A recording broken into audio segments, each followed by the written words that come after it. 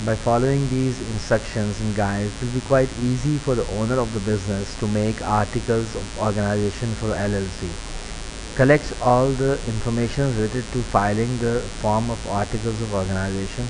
Some necessary information such as official name of, the, of LLC, name of registered agent, official address of company and several other essential information related to the organization. Give the brief description about the structure and purpose of business which, which you have decided to establish. Describe the name of directors and officers and also it is important to explain the duties and responsibilities of the staff members LLC.